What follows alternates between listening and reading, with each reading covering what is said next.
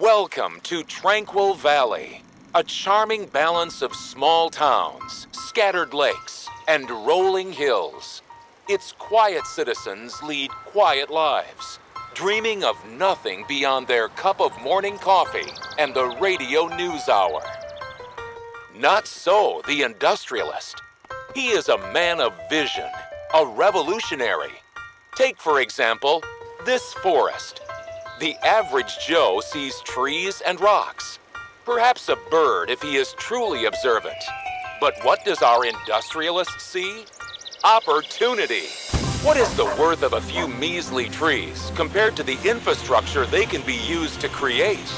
The industrialist knows the answer, and so he puts those trees to their proper use. And with that lumber, he constructs another factory, and another, and another. Soon, Tranquil Valley is a bustling city. Its citizens no longer tired, but inspired by the new possibilities available to them. But the industrialist does not stop there. There are other towns just waiting to be exploited. explored.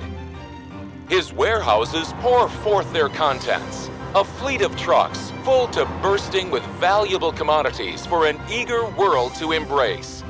And embrace they do, as quiet town after quiet town marches to the song of progress. As new cities pop up across the country, as cities develop into thriving metropolises, all thanks to the enterprising industrialist. Now it's your turn. Take the reins of a burgeoning industrial empire. Gather your resources, build your factories, advance your technology, and watch the world around you prosper. Watch your company grow and grow and grow.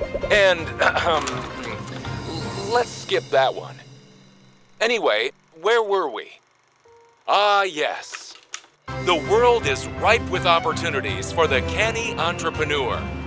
You are the next industrialist. This is your world. This is Rise of Industry.